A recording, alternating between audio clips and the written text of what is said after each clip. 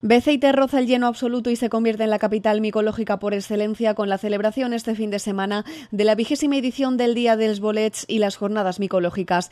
Entre otras actividades se ha podido disfrutar de una exposición en la que se han podido ver más de 200 muestras de setas diferentes, incluso dos nunca antes expuestas en España.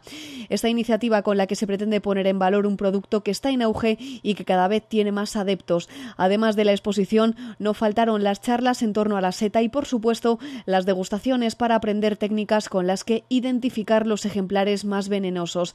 La campaña no está siendo todo lo buena que debería, dijeron los expertos, aunque confían en las lluvias de los próximos días. Aquí en esta zona no ha sido buena. Aquí eh, es posible que todavía si llueve en, en estos próximos días mejore y salga algunas cosas. Esperemos que sí, para que la gente se divierta. El alcalde Juan Enrique Celma no pudo ocultar su satisfacción porque un año más el balance del fin de semana ha sido muy positivo y porque además ha llegado gente que en otras ediciones. Todos los años eh, tienen una buena acogida, ¿no?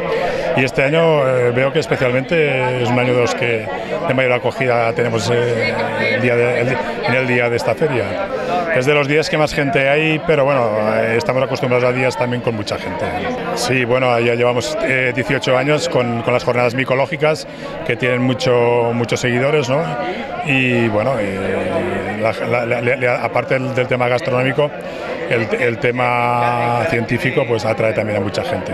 El albalatino Manuel Sunier fue uno de los bajoaragoneses que se animó a formar parte activa de la feria e instaló un stand con productos típicos de la tierra, al igual que Ángel Benaiges de Pols, que llevó robellones entre otros productos. Muchas cosas, desde pudding, anchoas, almueras y quesicos de Teruel. Todo de Teruel, todo de Teruel. He traído trompeta, camagroc, pegalosa, el baboso que llaman aquí.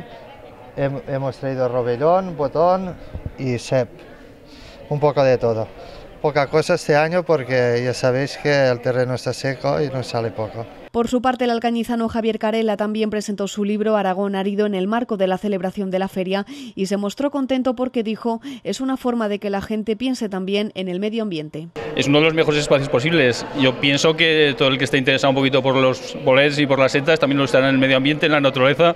Y ahí que me he colado yo con mis plantas, no son, no son bolets, no son setas, pero, pero tienen que ver con el medio ambiente, con el medio natural y yo creo que la gente también disfrutará con ello, como disfruta del campo cuando sale a coger setas. ¿no? Más de 40 están formaron la feria, una de las que más acogida ha tenido en los últimos años, lo que la ha situado como una de las más multitudinarias de la comarca. El trufadito, la longaniza casera, la secayona...